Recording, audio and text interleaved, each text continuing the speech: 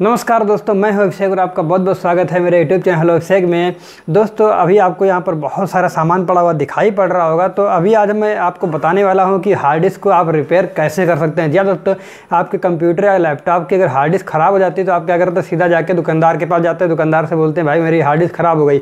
अब दुकानदार क्या बोलेगा कि हार्ड डिस्क जो है बनती नहीं। सीधा सा जवाब देता है दुकान, हर दुकानदार के पास यही जवाब है कि हार्ड डिस्क बनती नहीं। क्यों नहीं बनती? क्योंकि उसको जो है हार्ड डिस्क बेचनी है अपने।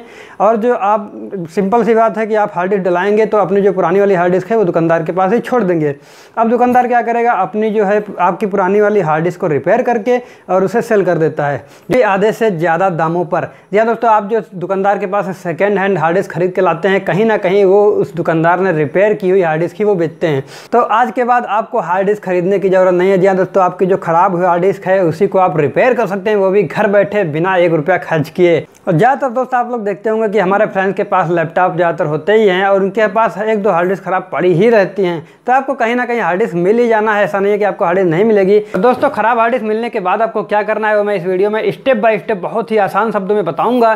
तो इसके लिए आप शुरू से आखिरी तक बिना स्किप किए वीडियो ज़रूर देखिए। अगर अभी तक आपने वीडियो लाइक नहीं किया तो लाइक कर लीजिए। अगर आप नए हैं चैनल पर तो चैनल सब्सक्राइब कर लीजिए। जल्दी से आपको बता देता हूँ कि आपको जो है अपने हार्ड डिस्क कैसे सही करनी है, वो भी अपने खुद से और घर पे। या दोस्तों, उसके लिए आपको क्या करना है कि हार्ड डिस्क जो मैंने पहले से ही ओपन कर रखी है, आपको दिखाने के लिए, क्योंकि जैसे टाइम बर्बाद ना हो। लेकिन आपको क्या करना है, पहले ओपन नहीं करना है, पहले आपको जो ये वाला जो साकेट लगा हुआ है, ये जो आपके लैपटॉप में लगता है, इस वाले साकेट को यहाँ से निकाल लेना है, ठीक है? आपको यहाँ पर जो पॉइंट दिख रहे हैं, इन पॉइंट्स को क्लीन करना है। बहुत ही ईजी स्टेप में मैं बताऊँगा, ऐसा नहीं कि आपको समझ में नहीं आएगा, बहुत ही ईजी स्टेप में। पहला जो स्टेप है आपका यही है कि इसको निकाल के ऐसे क्लीन करना है, रबड़ से। ये देखिए, ये रबड़ है, ये नटराज रबड़ वही जो बच्चे यूज़ करते हैं, वही सामान्य रबड़ है, उसी से आपको इसको क्लीन कर लेना है ऐसे ऐसे। तो अच्छे से बिल्कुल इसको आराम से क्लीन कर लेंगे, जो आपको दिख जाएगा कि बिल्कुल जो है गंदे गंदे से रहे होंगे तो ये क्लीन हो जाएँगे।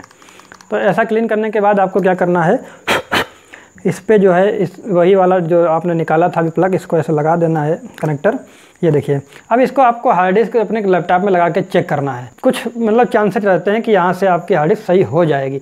अगर फिर भी आपकी हार्ड डिस्क सही नहीं हो रही तो आपका जो सेकंड टर्म रहने वाला सेकंड स्टेप आप क्या करेंगे? तो सेकंड स्टेप आपका रहने वाला, फिर भी आप आप अब हार्ड डिस्क नहीं ओपन करेंगे। सेकेंड स्टेप आपका रहने वाला है कि आप जो है, इसको जो है, अगर ये आपके पास दूसरी कोई हार्ड डिस्क है मतलब आपके पास किसी फ्रेंड की कोई हार्ड डिस्क मिल जाती है आपको तो उसमें भी आपको ऐसा ही कनेक्टर लगा मिलेगा। तो उसमें क्या करना है, आपको इस कनेक्टर को यहाँ से निकाल देना है, ठीक है? और दूसरा कनेक्टर ये दूसरा कनेक्टर जो है आपको इससे यहाँ पर लगा देना है।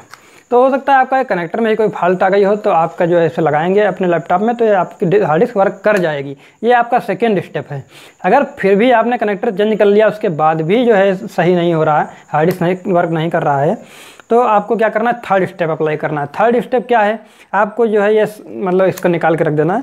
तो ये सारे पेज जो मैंने पहले से ही ओपन कर रखे हैं, ये पेज आपको ओपन कर लेना है। यहाँ पर क्या था? पहले आप, यहाँ पर ये पॉलीथीन एक लगी रहती है ऐसे।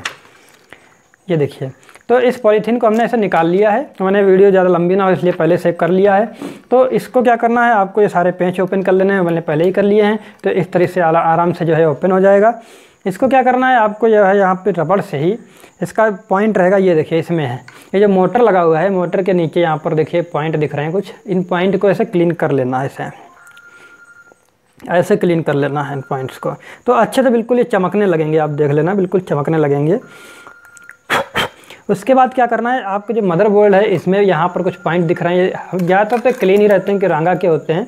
अगर ये आपको फिर भी गंदे दिखें तो इनको क्लीन कर लेना ऐसे ठीक है, ये आपका थर्ड स्टेप है। पहले आपको फ़र्स्ट सेकंड स्टेप अप्लाई कर लेना है उसके बाद अगर नहीं सही हो रही तो आपको ये थर्ड स्टेप अप्लाई करना है। सब खोल के ओपन करके इसको ऐसे क्लीन कर लेना, आराम से करेंगे। या जो पड़ोस में इसके जो है कुछ पुर्जे, कल पुर्जे लगे रहते हैं, इनको टच नहीं होने देना है। ठीक है, आपको सिर्फ़ क्लीन करना है आराम से। और आपको ये चेक कर लेना है कि आपकी हार्ड डिस्क में कहीं जंग वगैरह तो इसमें जो है मदरबोर्ड में कहीं जंग वगैरह तो नहीं लगी है? अगर आपको ये आईसी के तार वगैरह हैं, कहीं जंग लगी दिख रही है तो आपको ब्रश से उससे साफ़ कर देना है। ठीक है, पहले ब्रश से साफ़ करना है पेट्रोल नहीं डालना है। पहले ब्रश से साफ़ करके लगा के चेक कर लेंगे। अगर वर्क ना करे, उसके बाद आपको ये मदरबोर्ड पेट्रोल से धुलना है, वरना पहले नहीं धुलना है। पहले आपको सिर्फ़ क्लीन करना है। ठीक है, ये हो गया हमारा थर्ड स्टेप जो हम अप्लाई करेंगे। अगर हमारा ये थर्ड स्टेप जो इसको क्लीन करने वाला रहा है वो भी हमने अप्लाई कर लिया। उसके बाद भी वर्क नहीं कर रहा। ध्यान रहे पहले पेट्रोल से नहीं धुलेंगे, पहले इसको रबड़ से क्लीन करेंगे और ये जो जंग लगी होगी, उसको ब्रश से हटा लेंगे। उसके बाद जो है, ये हमारा थर्ड स्टेप है। अगर ये भी वर्क ना करे तो आप इसको मतलब फोर्थ स्टेप जो हमारा रहेगा तो इसको पेट्रोल से धुलने वाला। है फोर्थ स्टेप में आपको इसको पेट्रोल से धुलेंगे, वरना पहले नहीं धुलेंगे। पहले जितने पहले थ्री स्टेप है, वो अप्लाई करने हैं।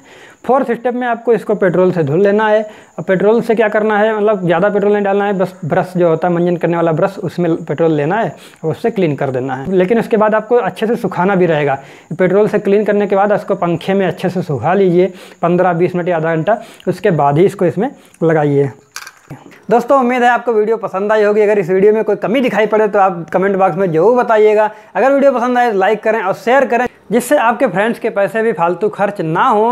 अगर आप चैनल पर नए हैं, चैनल सब्सक्राइब ज़रूर कर लीजिए। बेलाइकन जल्द दबा जिससे अगली वीडियो की नोटिफिकेशन आपको मिल जाएगी।